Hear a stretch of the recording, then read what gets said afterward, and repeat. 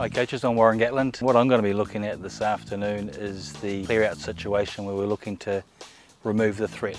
And if you look at world rugby at the moment, who are the three best guys in the world? Obviously, Pocock is injured at the moment, McCaw.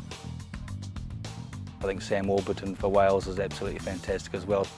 Those guys get on the ball and how do we get them off or how do we remove them to make sure that we try and retain possession.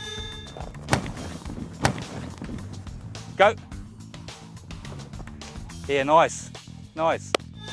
For me, I have a, you know, a core set of drills that I just continue to do all the time. And once I understand what those core drills are, you can quickly move through them and, um, and that's what your, your team builds confidence from.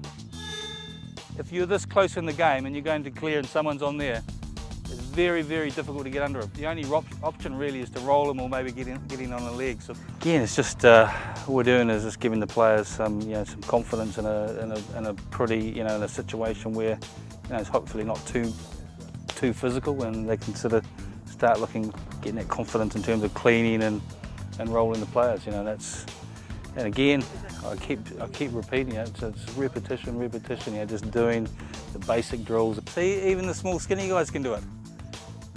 Hey, exactly what you want. You don't have to be big to do it. Just it's all about technique. That's all we're talking about. Ready? Go. Head. Where's your head? All right. We talked about playing rugby and offloading, but sometimes it's about what we said about taking contact, making the decision, and the ball coming back. Let's go.